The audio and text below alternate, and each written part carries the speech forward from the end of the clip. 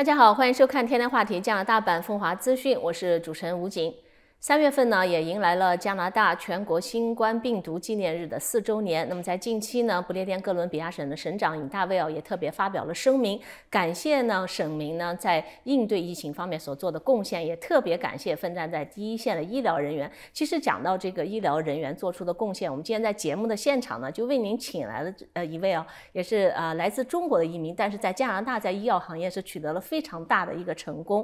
感谢安卓啊于凡先生上我们的节目，那。他现在呢是担任 Imperial Distributors Canada 的共同创办人和营运副总裁。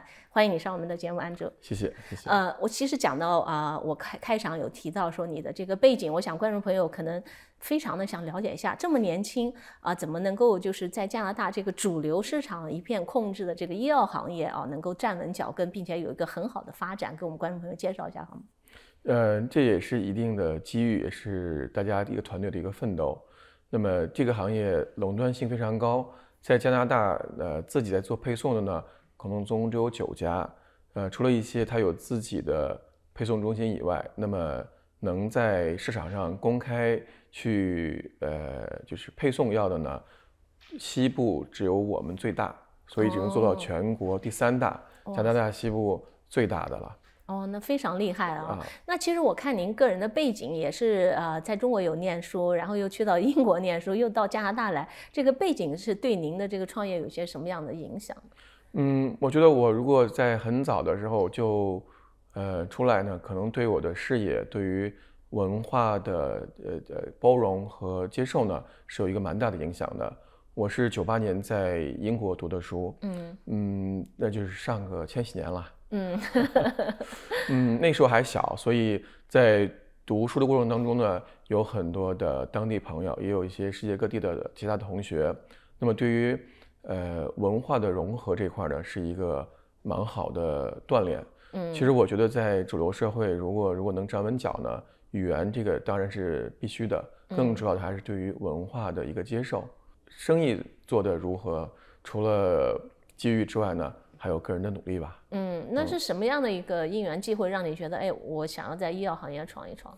嗯，我二零零一年移民来加拿大的时候呢，其实当时是应聘在了这家医药公司。嗯，呃，我是学 information system 信息系统出身的。嗯，那么在这家呃公司当中呢，当时主要做的是数据分析，在做数据分析的时候呢，要给各个部门去做报告。那么这时候呢，我就会把每一个部门的呃，里里外外都研究一遍，这样好厉害，好勤奋。这样我做出来的数据呢，才不只是一个纸上的数据，是符合用户实际需求的。如果我不去问，只是按照他的要求去做，很多情况下做出来的数据其实失去一个上下文的含义呢，是不准确的。嗯。那么为了把我的这个工作做好呢，我会问他们。嗯。那么在问的时候呢，就把公司的每一个。部门的几乎又学了一遍哦，还是很勤奋。那当时问的过程当中，有没有感觉到一些文化的？就是你提到说，其实你在英国留学的时候，就是首先就感受到这个文化的一个冲击了。嗯，在问的时候呢，也是一个继续文化冲击的过程。那么在学生时代呢，是学生的朋友、学生的同这个同学们，这种文化呢是一个比较快速融入的。那么在工作环境、一个职场当中呢？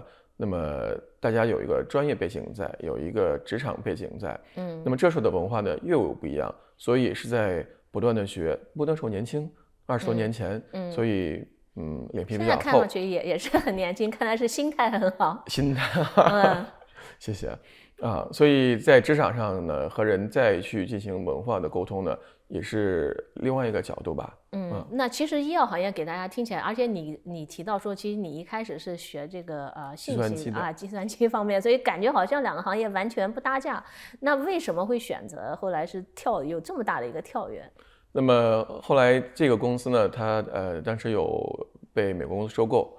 那么在二零一三年，我们回呃从呃国内杀回来呢，重新再做这个行业的时候呢，我就变成联合创始人，嗯，呃，变成了一个主要的运营负责人，嗯，因为有之前在公司做信息系统的这样一个背景，对于每个部门的呃了解，等于去针对每个部门的特点，可以有针对性的。对，所以变成创始人之后呢，我主要负责公司的运营，所以现在做的是那个 VP Operations，嗯。呃，所以把每一个部门呢，基本上都可以呃再过一遍。嗯，那其实我们讲到说，其实加拿大这个医药行业还是垄断性很强啊。另外就是感觉普，通常大家看上都是比较吸人的面孔啊。那么你担任一个这么重要的职务，有没有碰到就是说有一些？比方说，一开始很多人他不认可你，觉得你一个移民凭什么？好像有没有碰到过这样的事情？有的，因为作为第一代的华人移民，嗯英语不是自己的母语，虽然很小就出来上学了，但英语不是自己的母语。那么我们公司目前大概有三百员工左右，那么应该有一半以上的是白人。嗯那么怎么样能在同事当中得到认可、得到尊重？呃，也是需要不断的证明自己的。嗯那么在行业当中也一样，这是一个唯一有华人面孔的医药批发公司，全加拿大九家没有。嗯那么所以在很多呃行业内部的会议当中或者竞争当中，嗯要体现出来我们的优势，要体现出来我们的认真的态度。嗯那么这样才能在同行当中也得到认可。嗯，我们听到很多，其实很多移民，特别是呃，比方说有华人背景的移民，很多人会觉得说，好像给大家感觉就是我是埋头苦干，但是呢，不太擅长，就是说好像到了比较高的一个管理层。那么从你个人的经验，在这方面有哪些可以跟我们大家分享？嗯，我觉着刚才像我说，得到大家的认可是第一步。嗯那么语言一定是必要的。那么除了语言之后呢，一定是文化的背景。文化背景如果没有一个共同的碰撞，这时候对方很难接受你。那么作为我们是从国内来加拿大，既然移民呃已经移民在这儿了，所以对当地的文化的接受程度和适应程度呢，一定要够放得开，能接受的比较全面。那么这时候你的同事呢，可能会在认可你这样的人更加容易一些，就是语言和文化的认可。第三个呢是专业能力，嗯你以你的专业能力能够说服他，能够使他信服，这可能是最关键的了。嗯，在这你讲到专业能力，有没有比方说一两个小故事可以跟我们分享？因为我个人会觉得，哇。就是医药对我来讲，哪怕就是光是认清楚这些 药的名字，就已经要花很久的时间。我们做的是医药批发，所以基基本呃是一个物流专业。嗯那么呃，我管运营之后呢，其中会跟当地的很多呃物流公司打交道。那么我们公司在阿尔伯塔有一个分公司，哦，啊、分公司呃坐落在 Edmonton。嗯哼，那么我在跟分公司的呃员工开会的时候呢，我可以不需要地图，就把每一个城市、每一个小镇在哪儿清清楚楚告诉他们，然后司机怎么样安排，先后顺序，可以非常清楚地告诉他们，他们觉得这个老板是专业的。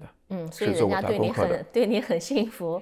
对，一定要从专业角度来说，让他们也要信服。嗯，那那您觉得你现在就是你们公司，你讲到加拿大在这个行业，其实呃类似的公司不是很多，那你公司的这个竞争的优势在哪里？为什么大家会选择你？就是你现在的市场占有率有这么高？嗯，呃，我们公司呢，呃，最好的口碑呢就是我们的服务，在当地，就比如说 local 大温地区，我们给零售药店的配送呢是呃一天两次，嗯早上有一次，下午有一次，这个是其他的竞争者没有的。